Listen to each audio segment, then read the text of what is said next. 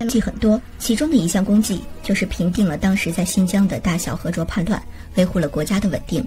这里，大小和卓是中国西北地区历史上两位著名的伊斯兰教领袖。大和卓是指波罗尼都，新疆克什格尔人，伊斯兰教白山派和卓玛汉木特的长子；小和卓指霍集占，伊斯兰教白山派和卓玛汉木特的幼子。在伊斯兰教，和卓的地位相当高，是众多穆斯林的领导者。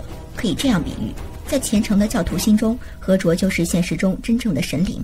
维族人在清代就流传了一句谚语，其大概意思就是说，能见何卓一次就是天大的福气了。所以，作为神灵在人世间的代言人，顺理成章地继承了他的权威。这些何卓们在捣鼓完宗教的事情后，还不想闲着，还要继续扩大自己的威严，就开始把目光投向了凡世，想要搞点事情，并且在何卓们的不懈努力下，终于在十四世纪控制了一大批小国，还控制了当时的新疆。之后，何卓的权势越来越大。当时最大的一个国家东察合台就邀请何卓成为国师，何卓也拥有了大量的凡世间的财产。那时候的新疆可以说每一块地方都渗透了何卓的势力。这些宗教的领导者们愈发的无所顾忌，利用神的代言人身份不断干涉各国的内政，就连平民的生活各方面也都受到了影响。那时的新疆无疑是处于何卓的统治之下。为了提高自己的身份地位，何卓开始鼓吹自己圣裔的身份。在穆斯林心中，唯有穆罕默德可以成为圣人，这也是凡人世界最后的一位先知。所以，何卓鼓吹自己是穆罕默德的后裔，就是说其身体里面有着圣人的血液，自然身份得崇高。可以说，何卓们不断神化自己身份是成功的。伊斯兰教中的各个支派竟都承认了其身份的神圣性，并且没有任何人表示怀疑。所以，一旦清王朝有段时间对新疆的管理松懈了，和卓眼看这是个好机会，就勾结外部的和卓一起发动了一场独立运动。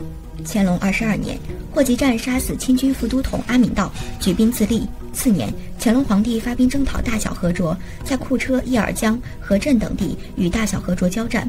乾隆二十四年，大小和卓兵败西逃，经葱岭进入巴达克山，被巴达克山首领索勒坦沙擒杀，叛乱遂平。大小和卓之乱的平定，标志着清代中国统一战争的完成，也是乾隆皇帝的十全武功之一。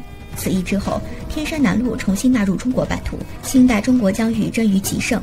回部平定后，清廷设伊利将军统辖新疆各部，设总理回疆事务参赞大臣管理回部。这场所谓的独立运动，我们知道最终是失败了的。清朝也彻底平定了此次的叛乱。分裂活动的领导者大小和卓只得逃命。